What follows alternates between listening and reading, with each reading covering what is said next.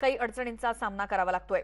मुंबईनंतर आता पुण्याकडे वळूयात. कारण पुणे महानगरपालिकेला सुद्धा काल पस्तीस हजार लसीचे डोस मिळालेले आहेत. त्यामुळे आज पुन्हा लसीकरण सुरू होत आहे. पण लसीकरण केंद्र वाढल्यामुळे प्रत्येक सेंटरला मिळणारे डोसेस कमी झालेत. त्यामुळे टोकन घेण्यासाठी सुद्धा रांगा लावाव्या लागत आहेत नंबर लावल्यानंतर तीन दिवसांनी नागरिकांना लस घेण्यासाठी बोलावलं जात आहे पुणे महानगरपालिकेच्या हद्दीमध्ये आता एकशे ऐंशी केंद्रांवरून लस दिली जाते.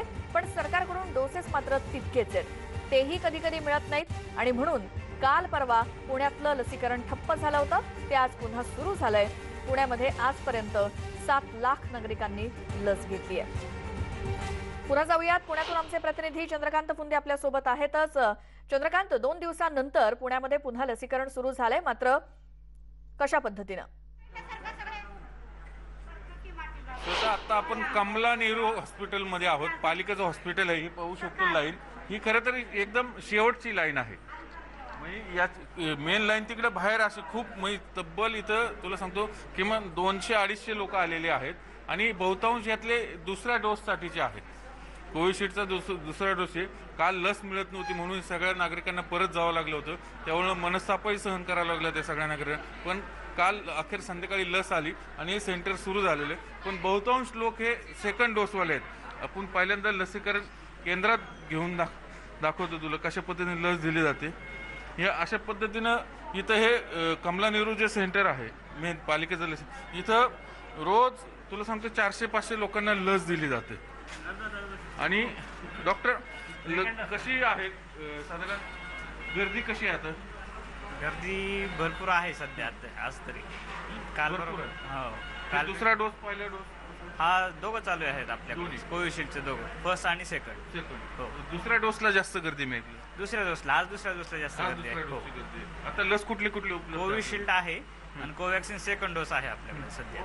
रोज किती देतो आपण डोस साधारणतः आठशे आ- आठशेच्या पुढे जातो. हो. कोविशिल्ड आठशेच्या पुढे जाते. कोविशिल्ड. आणि कोवॅक्सिन? कोवॅक्सिन अं, दिवसभरात जमतेम अडीचशेच्या पुढे. अडीचशे. अडीचशे ते तीनशे. मग कमी मिळतं म्हणून. हां तर आपण सेकंड डोस देतोय ना फक्त हो. भारत बायोटेकचं म्हणजे आपण पाहिलं इथं हे जे मेन सेंटर आहे पालिकेचं कमला नेहरू पा- हॉस्पिटलमधलं इथं रोज सातशे ते आठशे डोस दिले जातात कोविडशील्ड सगळे आणि बहुतांशातले दुसरे डोसवाले आहेत.